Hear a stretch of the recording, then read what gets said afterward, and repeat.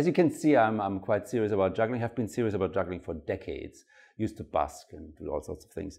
Um, now, what I want to show you today is how you can rip out the mathematical soul of juggling pattern and use it to your own evil ends.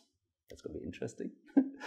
no, mathematical soul of juggling pattern uh, actually comes in the form of numbers. So how do we get those numbers? Okay. Now, when you juggle, you usually juggle to a beat. So the music might be on, you know, and on every beat, uh, balls are being caught and thrown by the hands, and the hands are taking turns, at least with the basic juggling, which we are going to stick to. Okay, so I've, I've tried to capture this graphically. Uh, so here's a timeline, and here we've got the beats, and you see the, the hands, like the left hand is one, one sort of circle, the right hand is the other sort of circle. Okay, now let me just um, juggle the basic pattern, okay, and count out the beats. All right, so here we go. So it's one, two, three, one, two, three, one, two, three, one, two, three. So the yellow ball always goes up on the one, right? And I count to three. So how, what does it mean for how many beats does the yellow ball stay in the air? Three. Three beats, exactly. And actually every single ball that I throw here stays three beats in the air, okay? And so we can actually put this in, right? So there's the red ball, right? Three, three, three, three, three.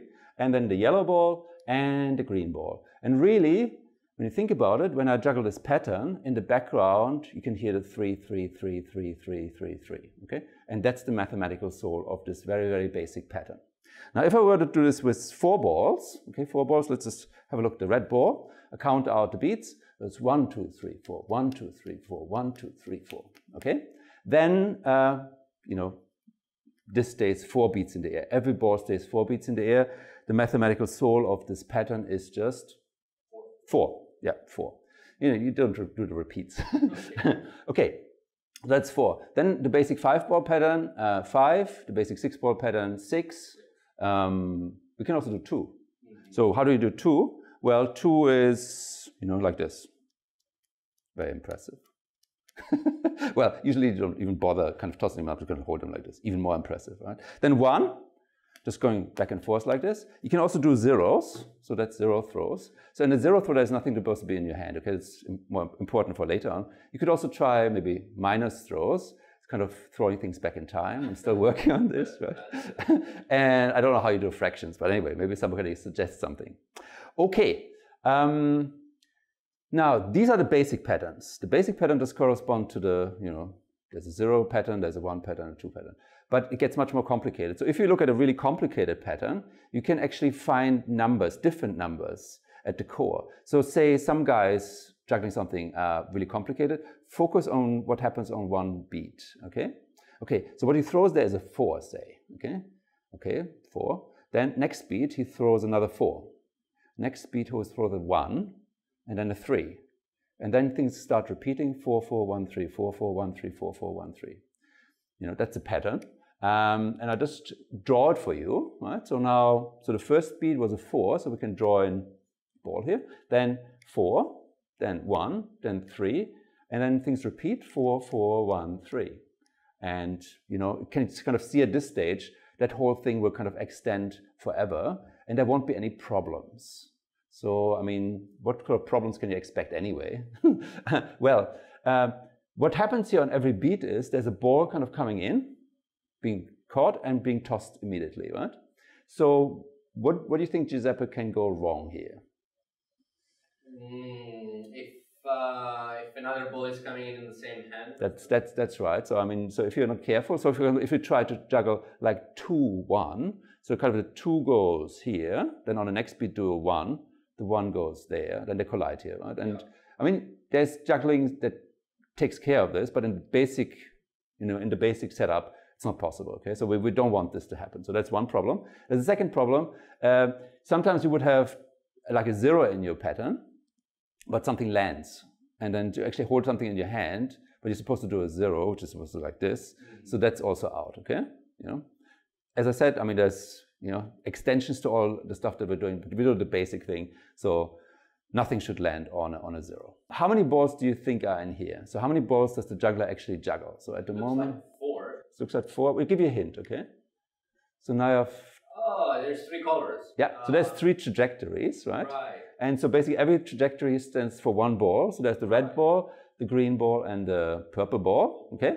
And they, um, you know, they exhaust the pattern. So it's just three, three balls being, being in play here. So the one three is the same ball. It's the same ball, yeah. And that's actually a good thing to kind of color it in like this because you can actually see how you're supposed to juggle the, the pattern. So if we just look at the purple ball, for example, well, what is that going to do? Well, it's staying in one hand and it's just, just doing four. So basically it just does this here, right? Over and over. And then there's also the green ball. It does the same thing on the other side, right? And then in the middle, we've got the red ball, and that does one, three, one, three, okay? So let's put it all together, okay? And when I put it together, it looks like this. 4413, 4413, 4413, 4413, 4413, and I'm so good. okay, now, um, yeah, that's, that's just one of the patterns that you can get. And there's like lots and lots. So just to show you a few of them, right? So these are all possible mathematical souls of juggling patterns. There's infinitely many. And uh, just kind of the left column here, that's just juggling with two balls, okay? So juggling with two balls. And well, then we've got the two, which was this really fancy, you know, or just forget about it pattern.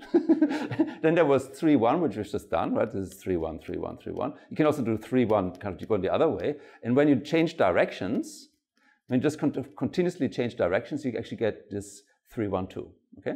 That's 3 1 2. 3 3 3 is kind of interesting. Uh, so what you do there is you just kind of juggle 3 3 3 3 3 3, and then you get rid of one, and then uh, you know, you just do the zero there, right? So 330, 330. Good one. And then what about uh, that one, 4040? What would that look like?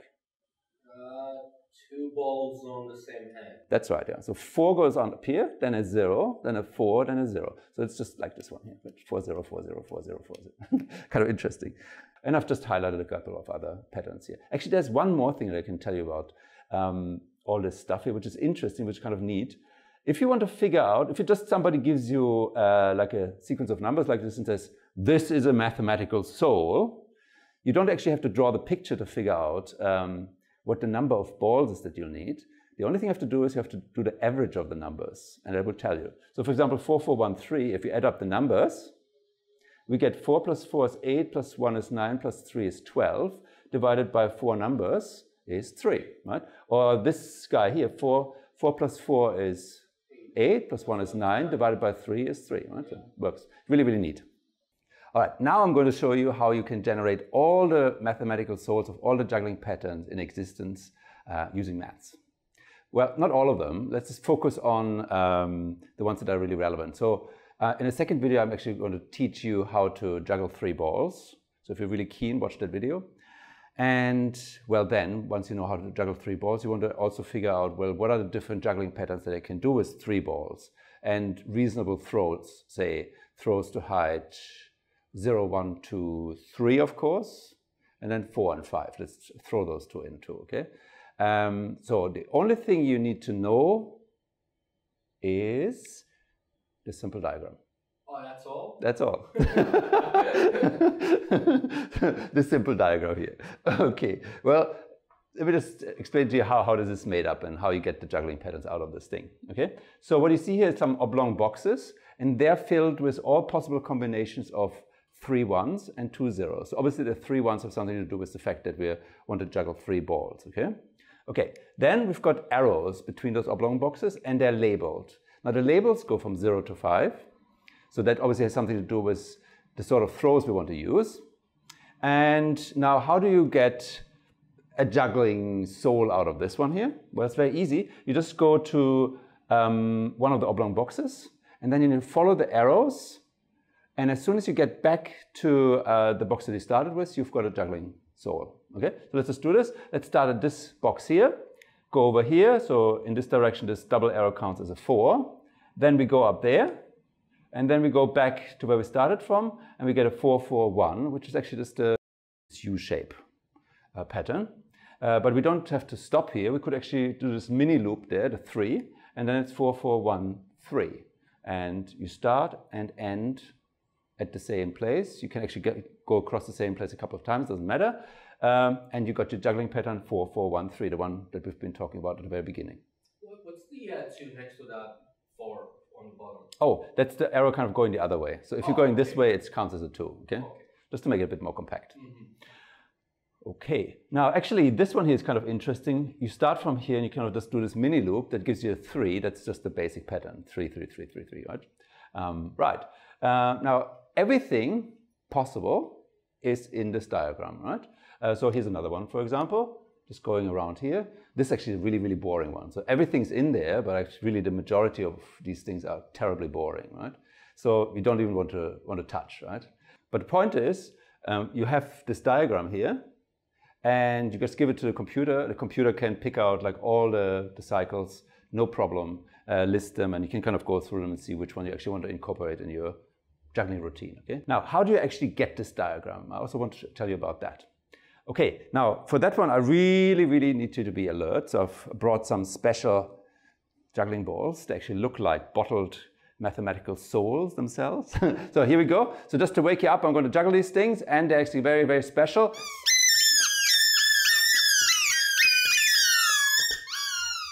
Okay, well, hopefully everybody's awake now.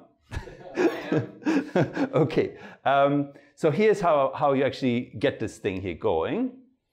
Um, so we're juggling three balls. Okay, so imagine you're juggling three balls, and what I've uh, drawn here is the dots at which the beats occur. So beat dots. Okay, now we're in between beats, and that means that all the juggling balls are in the air. Okay, and now there's three balls in the air, and the red one is actually going to land on the next beat. Uh, the yellow one is going to land on the beat after that. Then two beats, nothing's happening. And then five beats from now, the green ball is supposed to land, okay? And I record this in the string of ones and zeros, okay? So I say lands, lands, nothing, nothing lands. So it's one, one, zero, zero, one. So you're in the state, in the juggling state, one, one, zero, zero, one at the moment, right? And you can be obviously in, in many, many different juggling states. Uh, and this is what the oblong boxes in the diagram correspond to, okay? Now let's fast forward to uh, the next beat, okay? What happens then is, of course, that the red ball falls into your hand, okay? So the red ball is here, and everything kind of shifts forward by one. So we're kind of going like this. So we've got the red ball in our hand, and on the next beat, the yellow ball is going to land, then two nothings, then a land, and then nothing planned for, for the moment, okay? Now we have to figure out what can we do with our red ball. You know, what throw can we do? Uh, can we throw a zero? so I can't throw a zero because that's supposed to look like this. Okay. What about a one? Uh, if you throw one, it'll land at the same time as the yellow. That's right. so it'll interfere. So there, there that, that one there, you see the one? So if I throw a one, that those two would come along together, the red one and the yellow one. So I can't do that. So can I do a two? Yep. Yep, because there's nothing scheduled for two. Yep. And then obviously also not for three. What about four? Uh, no, because the green is. Yep. And then I could also go for five, right? And these are really all the choices. So two, three, and five work. Everything else doesn't work. Doesn't, everything else will get us into trouble, okay? So let's just say we're going for a five, okay? What that means is that this zero here becomes a one, One. Yeah. yeah? and we're in a different juggling state, Yeah. that one here, right? And we've basically come from this juggling state to just juggling state by juggling a five, okay? Mm-hmm. And now we can actually put the whole diagram together. It's quite easy. So what you do is you, that was our first state here. And these are the three different states uh, to which we get by juggling a five, a three, and a two, right? And so we do the same sort of analysis for every single state, and that gives us this, this diagram here, okay? And that's the complete picture as far as three ball juggling up to height five is concerned. Now, you know, at some point in time, you may want to add height six, but then you need a different diagram, and you know, this gets a bit more complicated. It's a big diagram right. It's a big diagram, but it's not a big deal for a computer, okay? All right. So what's the point of all this? Well, um, just in terms of recording stuff, it's really good to kind of take out the soul and I just say, I'm juggling this thing, which is basically a 4413, and I'm wearing blindfold and I'm using chainsaw and I throw them behind the back. So then it's pretty easy for somebody else to kind of reconstruct what I'm actually doing, right? Another good reason would be to uh, get some sequences or some souls that allow you to uh, learn in stages. So for example, you want to practice the, the black belt five throw. So you don't want to immediately do 5, 5, 5, 5, 5 with five balls. So what you do is you first look for one that only involves two balls but has a 5 in it, like this 501, right? So you practice that one. And then you maybe get a, a three ball pattern with a 5 in it, and so on, right? So that's good. There's a couple of other reasons. Actually, I've written quite a few articles about this sort of stuff, which I link in, in, in the blurb here. So check it out. There's also a link to a book which I've written about this. So I was pretty serious about this at, at some stage. Uh, now, what's the point of all this? Well, the point of juggling is to have fun. and in part, the point of doing this is also to have fun. So once you've got this analysis going, you can actually now you just hit it uh, hit a computer with this and let it show you all sorts of amazing things. So for example, here I've got a computer uh, juggling 35 balls in the basic pattern. Okay, and that would look exactly like this if anybody could actually juggle this. Uh, now here I've got one uh, 18 in a circle. Okay, here is going 1, 2, 3, 4, 5, 6, 7, 8, 9, 10. And actually, uh, for compactness, we always use like A for 10, B for 11, and so on. So you can see, you know, the ball's getting higher and higher up. And so now what else have we got here? This is a really nice pattern. It's kind of a U shape, right? Um, and actually, I mean, just talking about having fun, obviously, you know, once you're talking about letters, you can ask, well, is my name juggleable? Well, sadly not. and in fact, it's actually quite unlikely that if you just take an ordinary word that it's juggleable.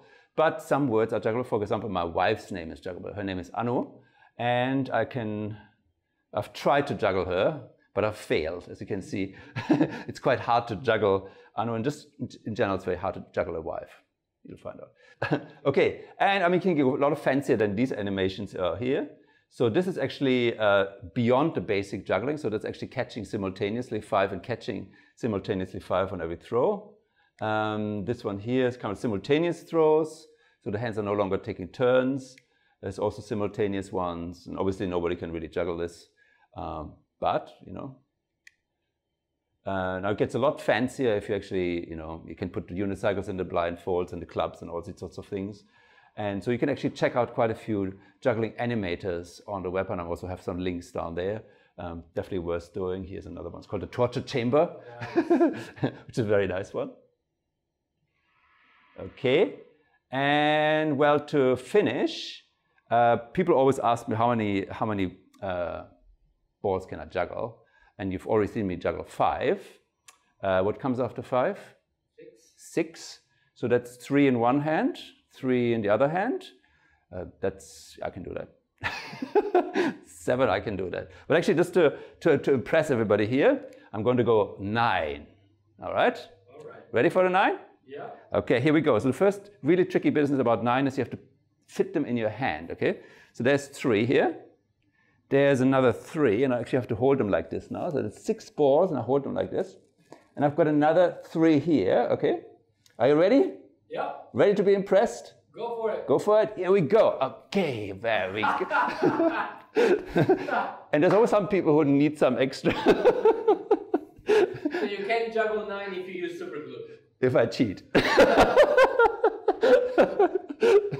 I actually can't juggle nine. but that's, that's, that's it for today.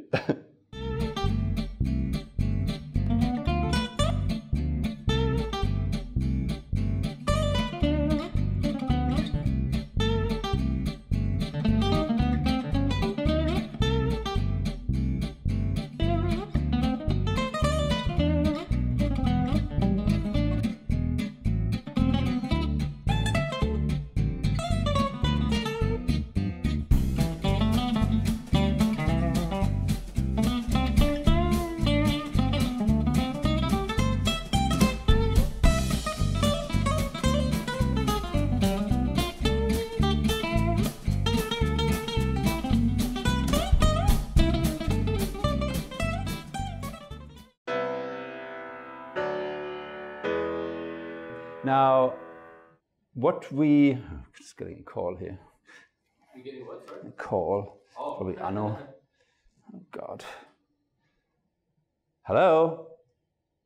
Hello?